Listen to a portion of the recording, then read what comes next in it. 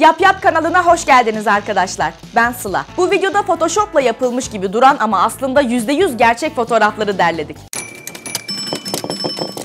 Gözlük takmış bir kara sinekle başlıyoruz. Tabii ki Photoshop değil. Bilim adamları bu gözlüğü lazerle ne kadar küçük objeler yapılabildiğini göstermek için imal edip sineğe takmış. Bu adam dev değil, sıradan bir temizlik görevlisi. Gökdelenler aslında Lego bloklarıyla yapılmış modeller. Bu fotoğrafta Çinli askerlerin yürüyüşü öylesine senkronize ki sıralar Photoshop'la yapılmış gibi görünüyor. Kumların üzerindeki desenler ilk bakışta Photoshop'la çizilmiş gibi duruyor. Oysa bir sanatçının geliştirdiği makineyle yapılmışlar. Çalışmanın sonucunda ortaya çıkan sonuç gerçekten de etkileyici. Bu fotoğrafı gördüğünüzde gerçek olmadığını düşünmeniz son derece normal. Aslında kedi öldükten sonra sahibi onu doldurtmuş. İçine de uzaktan kumandalı bir helikopter yerleştirmiş. Bu fotoğraf da Photoshop değil. Çünkü bu kişinin ayaklarında gerçekten de 16 parmak var. Bu fotoğraf Polonya'daki bir ormandan. Gördüğünüz gibi ağaçların gövdesi bükülmüş. Onların nasıl bu hale geldiği tam bilinmiyor. Bir teoriye göre 2. Dünya Savaşı sırasında ormana düşen bombalar ağaçları bu hale getirmiş. Bu fotoğrafta da Photoshop yok. Tamamen gerçek. Burası bir otel odası.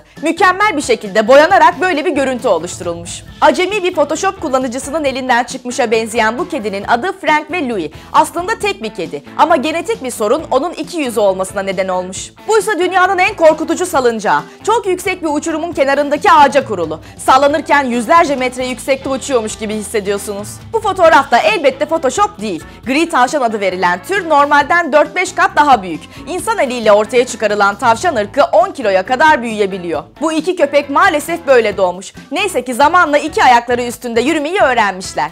Buysa havada asılıymış gibi duran dev bir musluk. Benzer şekilde bu da bir diğer örnek. Keramet suyun aktığı yerde. Çünkü orada musluğu havada tutan şeffaf bir boru var. Bu da yüzüne paintle kaş ve bıyık çizilmiş gibi duran bir Japon balığı. Fakat aslında bu onun doğal hali.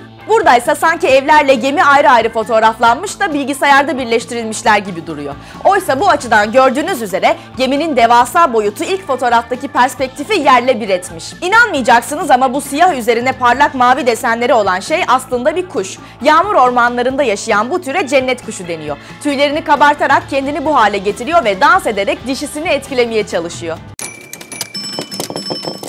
Sıra video önerisinde. Oha diyorum da içinizi eritecek birbirinden sevimli bilgileri liste haline getirdik. İzlemek için lütfen tam şurayı tıklayın. En yakın zamanda görüşmek üzere. Hoşçakalın.